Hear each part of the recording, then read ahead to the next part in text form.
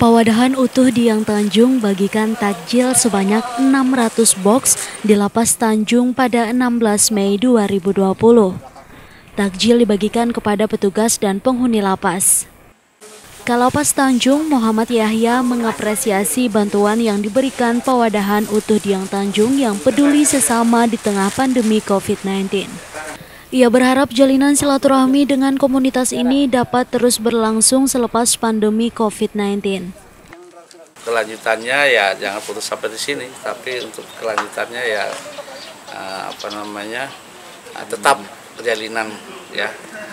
Artinya jadi tetap kita silaturahmi ya mungkin nanti ini kan karena corona ya jadi kita tidak bisa secara menerima uh, kunjungan tapi alhamdulillah pada sore hari ini kami terima kasih atas takjilnya. Ya mudah-mudahan nanti tahun akan datang ya bisa untuk lebih mempererat hubungan antara uh, Utuh yang Tanjung kepada warga binaan Lapas Tanjung. Ketua Pelaksana Muhammad Rian Muharis Nor menjelaskan, kegiatan utuh diang berbagi ini sebagai bentuk kepedulian terhadap kondisi saat ini dan diharapkan dapat sedikit membantu masyarakat terdampak COVID-19.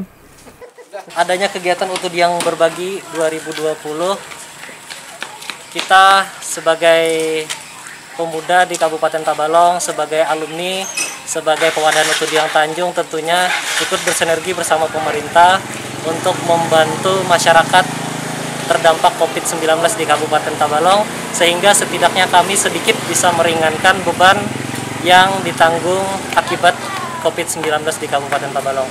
Harap Selain takjil, Pawadahan Utuh Diang Tanjung juga membagikan sembako di panti asuhan kasih ibu serta masyarakat yang terdampak COVID-19.